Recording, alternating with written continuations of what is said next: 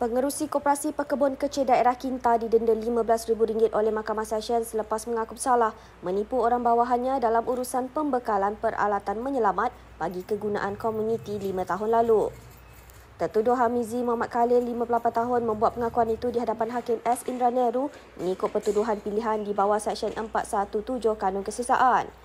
Mengikut pertuduhan pilihan itu, tertuduh memperdayakan Muhammad Zaimi Muhammad Zain, 45 tahun, dengan mendorongnya mempercayai bayaran RM8,700 adalah bagi pembekalan sebuah bot penyelamat seberat 850 kg selain 5 unit jaket keselamatan bagi kegunaan Jawatan Kuasa Kemajuan dan Keselamatan JKK Kampung Manjoy.